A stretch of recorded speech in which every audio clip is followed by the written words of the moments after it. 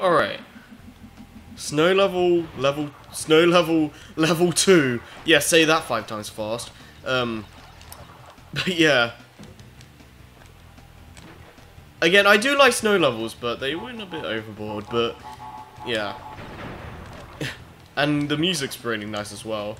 Um, in these stages and the the uh, eventual um, polar, oh, I, yeah, it's a polar bear level. I um, uh, the the music's uh, really really nice. Like in terms of like the soundtrack, this absolutely craps on uh, Crash One, which, to be fair, was going for a more environmental kind of feeling, which they still do. They still kind of do with uh, Crash Two and Three, but not nowhere near as much as the first game. It it kind of still it still kind of has that feel, but it tries to be a lot more um what's the word? Um not experimental really, but um it try well I, I guess that would be a decent way, but like it tries a lot of different things. Um like it try sometimes some levels have more peaceful music, other levels are more up like uh, upbeat and um blood pumping in a sense, and um, you know, it, it like the game tries to have a lot of different feelings with the soundtracks, with the soundtracks, yeah, with the music, I should say. And I mean, again, Crash, the Crash series doesn't have my favorite music in the gaming world, but I still I still get a kick out of listening to the Crash 2 and 3 soundtracks every now and then. Like, not to say that Crash 1 had a bad soundtrack, like, far from it. It, it, it just wasn't really anything too special, you know? But, there are some, there, there are some tracks out, out of the Crash 1 uh, OST that I do get a kick out of. Like, I like, I do like Slippery Climb and uh, Heavy Machinery quite a lot, so there's that. But, yeah, it's clear, it's clear as day that the two and three soundtracks are much, just much better. Do do do do do do do do. How did that? Okay. okay. You just go through the wall. Yeah, they bit of a ran uh, random place to put the Rolling Stone things, but hey.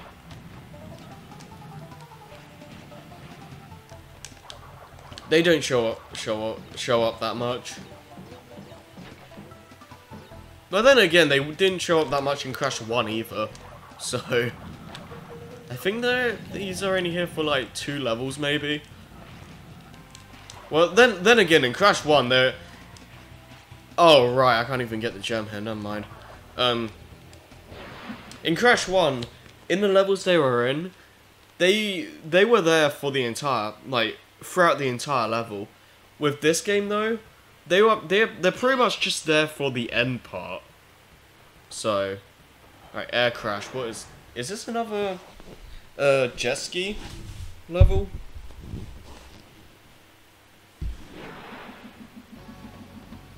Yep. Alright. Okay, so if I remember correctly, this is a warp, isn't it? Alright, let's see. And yes it is. Okay, so what you want to do, don't go on the jet ski. Yeah, die like that. But what you want to do, jump on these boxes.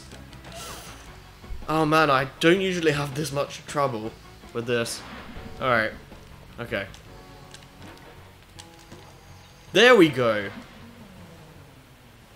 Yeah, there are some uh, specific platforms that make you warp to the secret secret warp room, which is basically basically the the, the remains of Cortex's castle in Crash One, and you can see just you can see the the two other islands in the distance there, which is actually really nice.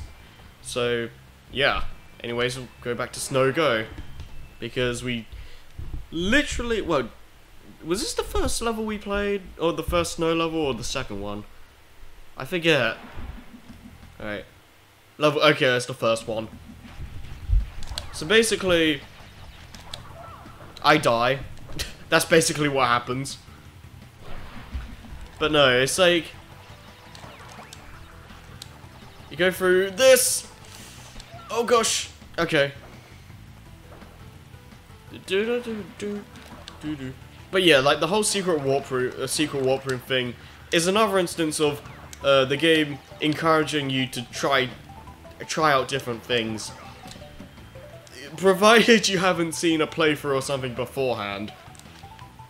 Then it kind of that kind of just kills the whole novelty of that. But hey, you can enjoy ga the game both both ways, really. But um, like hell, I I know exactly where everything is, and I still have a blast playing it. So, all right. Okay, so yeah, like there are there are some uh, color gems that do require you to go to these areas. Like sometimes it's obvious where a secret warp may be. Other times it's a lot more vague. But... Dang it. Like, oh man. I have a... I kind of have a love-hate relationship with the ice in this game.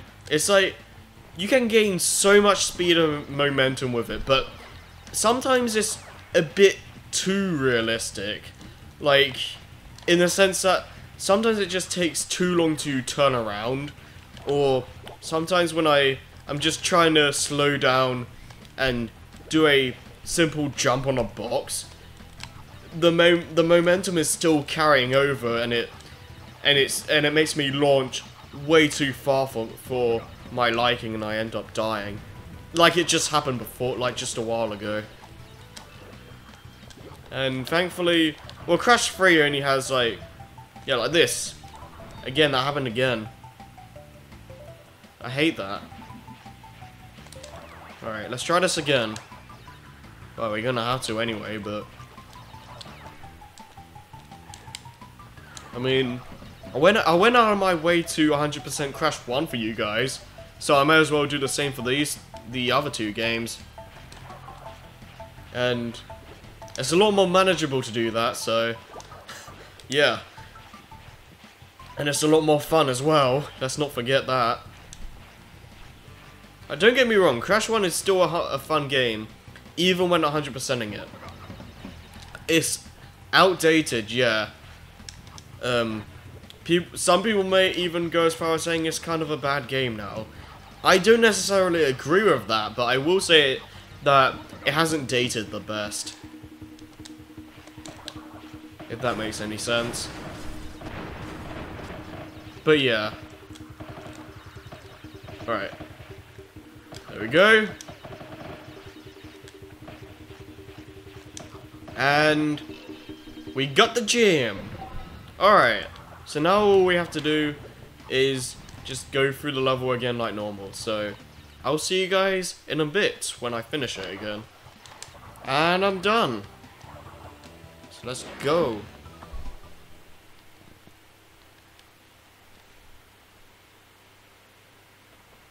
Alright. Yeah, look at that. We already... We're only in the second warp room at this point, and we already have two of the five colored gems. Alright, is that it? Yep, warp room one is complete. So now... We can go to... Wait, let's see here. Yeah, we can go back to Snowbit. Biz. Snowbiz. And go to the red gem path. So I'll see you guys in a bit. Alright, here we go. Didn't take too long. Oh, okay. Let's actually still on the platform.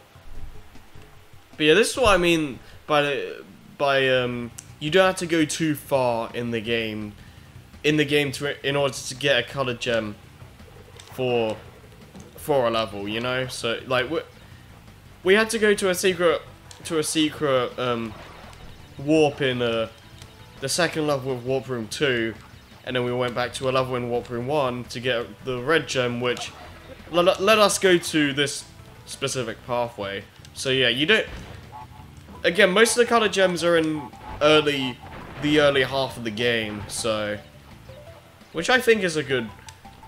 Which I think is a good thing, because like, in Crash 2, 1 and 3, there are a lot more... Well, in 1, it's a lot... Most of them are at the end of the level, at, at the end of the game, like, at least three of them are. Um, and with Crash 3, it's the fact that they're uh, a lot more spaced out. Like, there's at least one in Warp Room 5, and there's one in 4 as well. So, yeah. I don't even...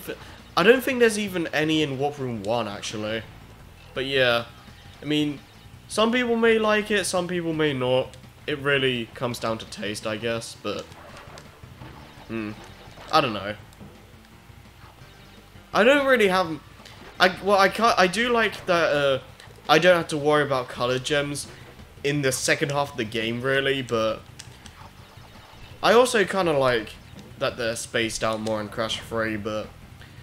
I mean, again, it's a uh, down to personal preference, really.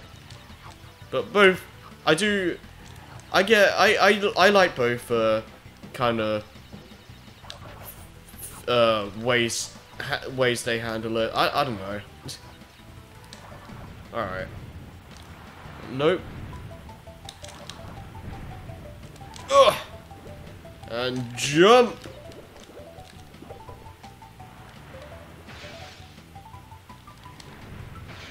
Yeah, you don't you don't don't want to rush with those.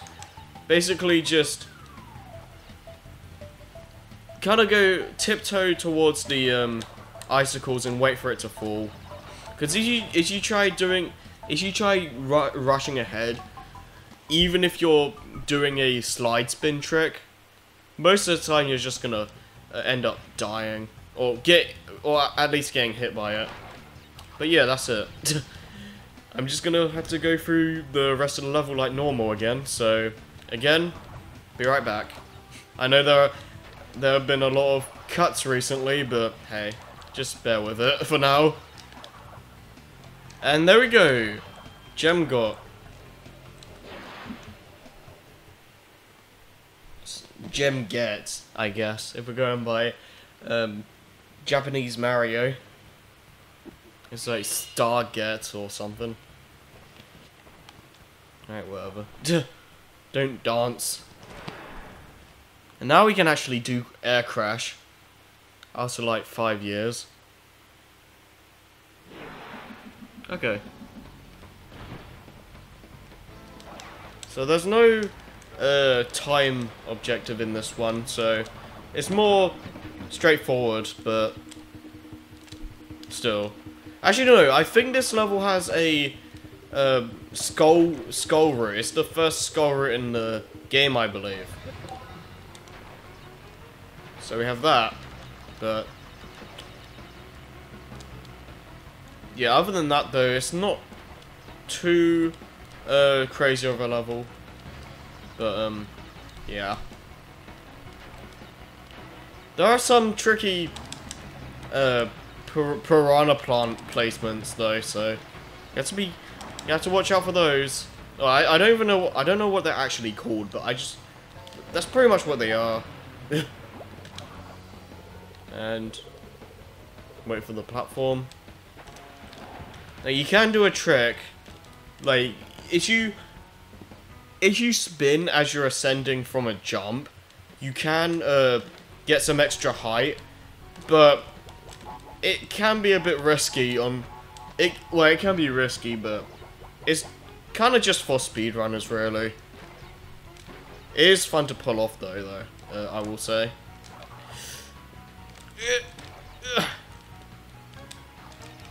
Okay, that was me just over overdoing it. Okay. Attempt number two. How convenient. It's the second game in the series, haha. I like doing that. Even if it is a little bit scary. Okay, there we go.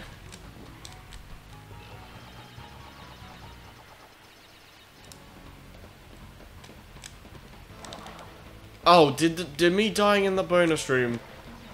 Okay, it didn't. Okay, we still we can still go into the skull route or the death, death path. Okay, so the deal with the death routes is that to activate them, you can't die until you act until you go onto the uh, platform. Like if you die here, the it doesn't matter. Like as long as you just went onto the skull path at all, you'll still be able to go to the uh, the skull pathway or whatever.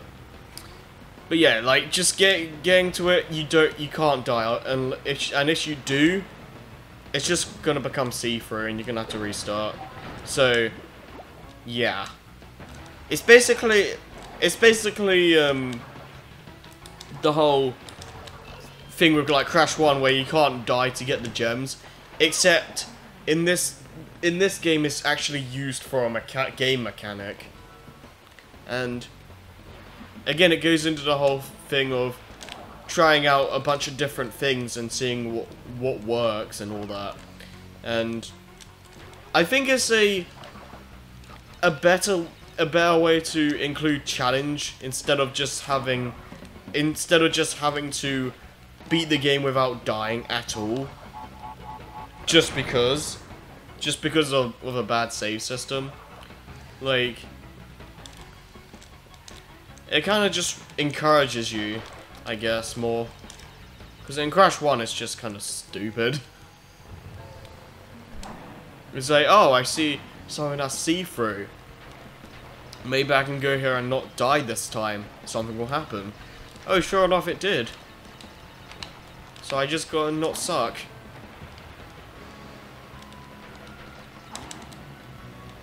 Alright. Oh. Okay. Oh, okay, never mind. The the uh, plant placements were was um another level I was thinking of.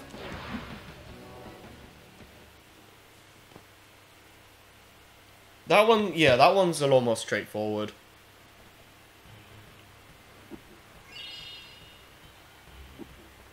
Alrighty.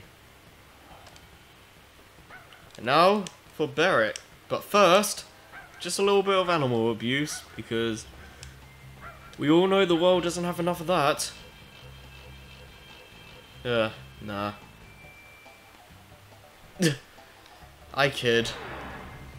But still, yeah, that is a pretty pretty cool bone or secret.